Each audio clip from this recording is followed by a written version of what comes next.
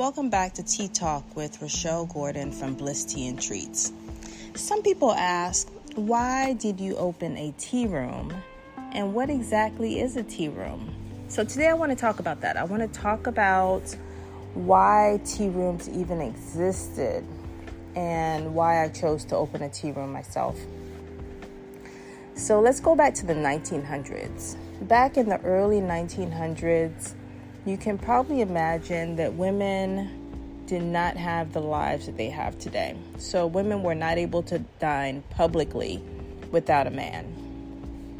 If you were married and you went to a restaurant, you had to be accompanied by your husband. If you were a single woman, you could not dine by yourself. So, in the early 1900s, women would open up their homes and they would set up a room in their home. And that was a way for them to either supplement their income. If they were married, they would use that money to supplement their income um, for their family. Otherwise, if they were a single woman or a teacher, they would use that as a way to continue to work, for example, throughout the summer um, when they were off. So that was a career option for women, and they would just create lighter meals. Um, usually, it was meals, you know, in between lunch and dinner. Um, usually, that's what high tea represents. High tea is one of those interesting meals where it's it's kind of a good excuse to be snacky, right? It's a good way to have like a charcuterie type experience um, in the middle of the day. And you could call that high tea. So the difference between a high tea and an afternoon tea is a high tea would actually be more heavier um, meats and cheeses and so forth. Um, and I would actually think that that's actually where charcuterie comes from. Whereas afternoon tea was more sandwiches. The reason why we call our experience high tea as opposed to afternoon tea is because we thought it was actually confusing for people to call it afternoon tea because then they would assume that they could only have it in the afternoon, whereas we serve high tea throughout the day. That's why we call it high tea. And that is the reason why in the tea rooms they would serve high tea is because it really was kind of that in between meal. So, back to the reason why the tea rooms came about. So, the women would be able to dine comfortably. It was always a very cozy environment, usually in the home. Men actually started taking notice and wanted to also experience them. So then the men would go and want to dine in the uh, tea rooms. What I find quite interesting is that the concept of creating a cozy, homey like environment in a restaurant space actually came from those original tea rooms. You know, having candles, having, you know, the, the doilies and, and the, the coziness of what you find in a home wasn't traditionally done in a restaurant. So that is something that the tea room has contributed to the industry. Um, another thing to consider is that alcohol normally was not served in the tea room, so it actually created an alternative to alcohol and bars. A lot of places where alcohol was served, women didn't really feel comfortable back then. So, this was an opportunity for them to be in an environment where there was no alcohol being served. The decor was traditionally Victorian, China. That was traditionally the style for the traditional tea room. I chose specifically to go the complete opposite direction, intentionally, not wanting to go with Victorian as my tea room decoration, I really wanted to have the experience be approachable. I wanted everyone, not just women. I wanted men. I wanted boys, kids. I wanted everyone to feel like they could come into the space and belong there. And believe it or not, even though we have worked really hard to make it approachable, some people still walk in and think it's a little too fancy because we do do themes and sometimes we're dressed up or sometimes it's um, a little bit more decorated than other times. So people still walk in and feel like it's a lot. But I think for the most part, you will find that in the Bliss Tea Room, a lot of diversity happens in the space because everyone can walk in and feel like they can have a seat on the couch and be at home. So that was the very intention of what we did when we decorated the space. Another thing, the food. So, the food that was traditionally served in the tea room is not the food that I wanted to serve. So, I've been to many, many tea rooms around the world. And one of the things that I often disliked was the food.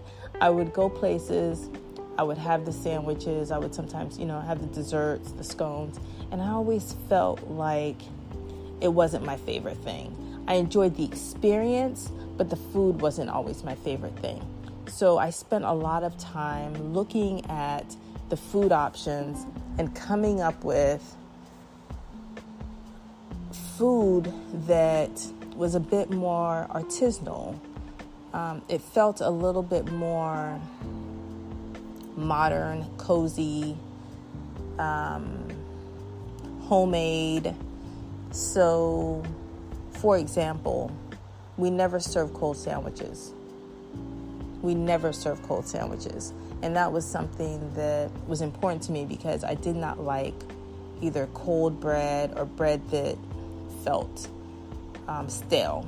So that was something that we spent a lot of time thinking about, thinking about how can we serve sandwiches where the bread always feels fresh, right? And the the, the sandwich options always feel unique and different. So, for example, our prosciutto fig and feta, we've taken that prosciutto fig and feta sandwich through very different iterations.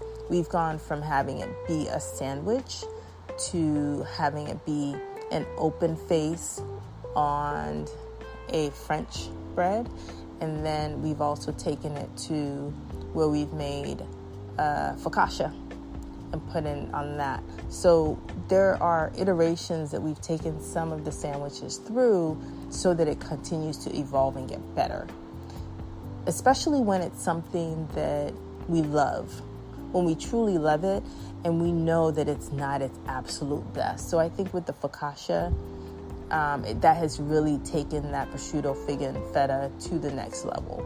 It has met um, its peak in terms of where it's supposed to be. So we're really excited about that. So we try to do that, and then when we introduce new sandwiches or new savories based on the based on the theme that we're doing, we really try to introduce things that are really going to complement everything that's on the menu. So, with the food, we try to balance the sandwiches and the savories with the dessert selection as well as with the scones.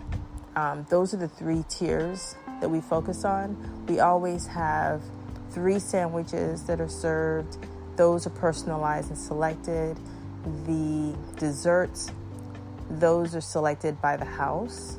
Um, some of them are standard, like the bread pudding. That's something that we always make and we always serve. Um, and then, based on the season and the theme, we determine what the other two desserts are going to be. And then, with the scone, our scones are very specific to Bliss. So, we have a cranberry orange, a chocolate chip, and now we have a vegan experience. So we have a vegan scone, and quite frankly, I'm so absolutely excited about that vegan scone. We've taken it through a couple iterations. The first scone, I wasn't really that excited about it, but now we found a recipe that truly is lovely. And we bake it to order so it's nice and warm and fresh and flaky when it's served. So we're really excited about our vegan experience. And then another thing that is quite interesting about the original tea rooms is that they, they didn't always serve tea. Um, they weren't necessarily in a culture, a tea culture here in this country. So they weren't necessarily serving good tea. And even though they may have tea available, it wasn't as expansive as the tea selections are today. So today in the Bliss Tea Room, we have over 40 uh, selections that you can choose from. Other tea rooms even have more than that. What I found though, as I was going to different tea rooms across the world, a lot of times the tea experience wasn't optimal. It was sometimes an afterthought. So, for example, the tea wasn't the right temperature, it didn't stay warm throughout the entire experience. So, those were things that I kept in mind as I was creating the experience of bliss and really wanted to make sure that when we serve tea, that we truly are very intentional about the tea experience, making sure that people are choosing a tea that resonates with them, with our sensory tubes, and then they are seeing the evolution of the tea as it's brewing in their pot. So that those were things that were very important to us. In the 1950s, most of the tea rooms started to close, but I think we are starting to see a resurgence of tea rooms coming back.